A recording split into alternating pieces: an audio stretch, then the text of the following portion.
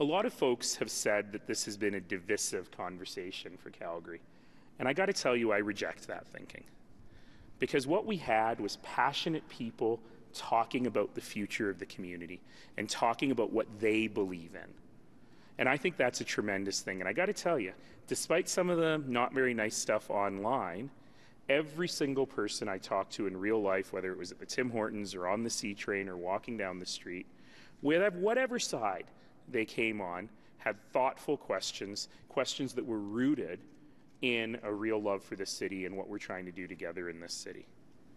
So, where do we go from here?